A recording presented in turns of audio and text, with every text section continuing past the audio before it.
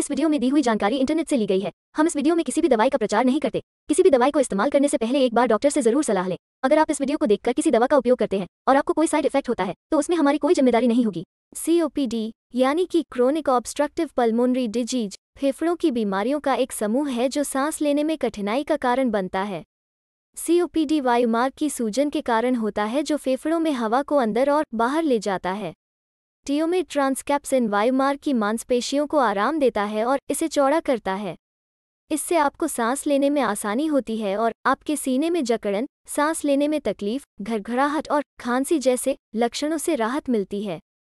धूमपान से बचें और प्रदूषण, धूल और धुएँ के संपर्क में आने से बचें।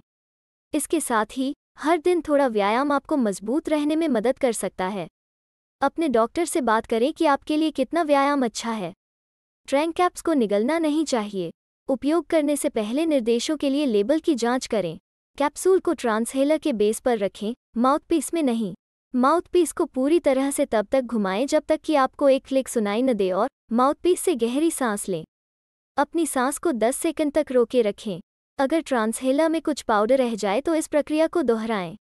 टियोमेट ट्रांसकैप्स दो दवाओं का एक मिश्रण है फॉर्मोटेरोल और टियोट्रोपियम फॉर्मोटेरोल एक ब्रोंकोडायलेटर है, जबकि टियोट्रोपियम एक एंटीक्लिनजिक है। वे वायुमार्ग में मांसपेशियों को आराम देकर काम करते हैं, और वायुमार्ग को चौड़ा करते हैं। साथ में, वे सांस लेना आसान बनाते हैं। वीडियो को पूरा देखने के लिए धन्यवाद। अगर आपको ये वीडियो अच्छी लगी हो तो इसे लाइक करें।